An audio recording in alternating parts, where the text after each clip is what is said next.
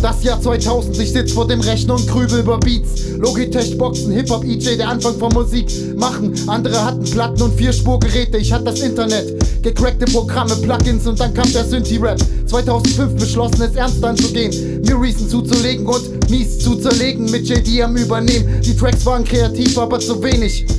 Ich wollte den rohen, dreckigen Sound und nicht ständig aus Scheiße Gold bauen. 2008 die wacke Technik geht in die Knie, Zeit für einen Traum, eine nagelneue NPC. Ich saß Nächte an den Drums und prügelte sie. Spirituelle Momente, aber auch das ging zu Ende. Wie die Quali von Apple-Produkten. Man muss halt gucken, was man sich leisten kann und dann fängt der Scheiß meistens von vorne an.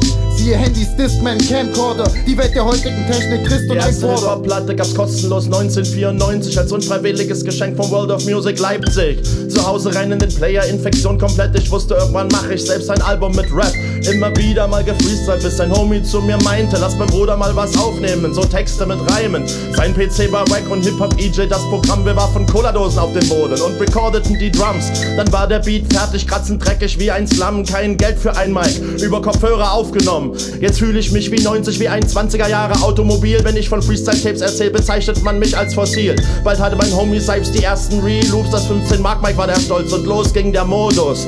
Die ersten Cover gemalt und Rohlinge selbst beklebt, egal wie wack die Technik war, wir haben's täglich gelebt. Und wie beschissen, ich habe sie gehasst. Die gottverdammte Technik, Wack Shit mal acht, hat mich Tag und Nacht zur Weißglut gebracht. Ein Mausklick zu viel und der Rechner kackte ab.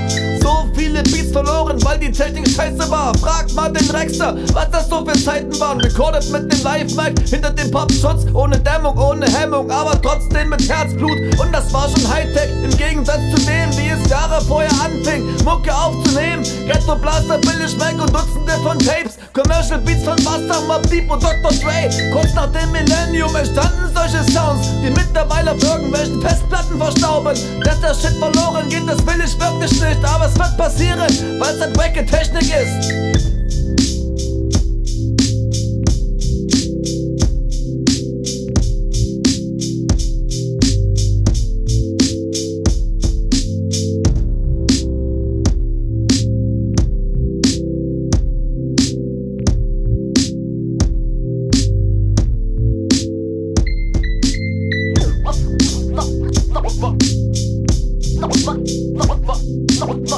Fuck that shit.